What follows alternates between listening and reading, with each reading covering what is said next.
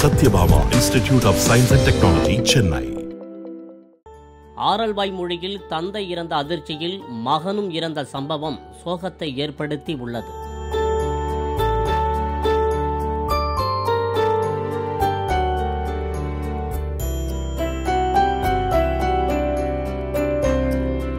கன்னியாகுமரி மாவட்டம் ஆரல்வாய் மொழியைச் சேர்ந்தவர் ஐயப்பன். தற்போது எண்பத்தி இரண்டு வயதான இவர் இஎஸ்ஐயில் ஊழியராக பணிபுரிந்து ஓய்வு பெற்றவர்.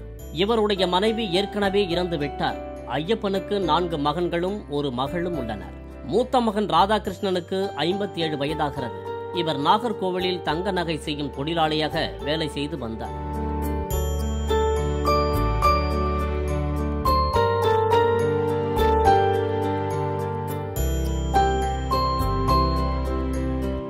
தந்தை மீது ராதாகிருஷ்ணன் அதிகம் பாசம் வைத்திருந்தார். தாயும் இறந்த நிலையில் தந்தையை அக்கறையாக கவனித்துக் கொண்டார் ராதாகிருஷ்ணன். இந்த நிலையில் நேற்று முன்தினம் மதியம் இரண்டு முப்பது மணிக்கு ஐயப்பன் இறந்துவிட ராதாகிருஷ்ணன் கடும் வேதனை அடைந்தார் தந்தையின் அடக்கத்திற்கான ஏற்பாடுகள் செய்து கொண்டிருந்த நிலையில் ராதாகிருஷ்ணனும் மயங்கி விழுந்து இறந்து போனார். இதனால் உறவினர்கள் அதிர்ச்சி அடைந்தனர்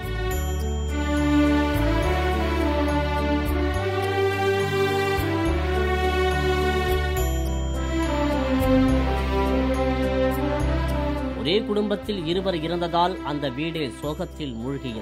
உறவினர்கள் கடும் வேதனையடைந்தனர். ஐயப்பன் உடல் நேற்று மாலை அடக்கம் செய்யப்பட்டது. ராதாகிருஷ்ணன் உடல் புதன்கிழமை அடக்கம் செய்யப்பட்டது. தந்தை இறந்த துக்கம் தாங்காமல் மகன் இறந்த சம்பவம் அப்பகுதியில் சோகத்தை ஏற்படுத்தி உள்ளது. Satyabama Institute of Science and Technology Chennai.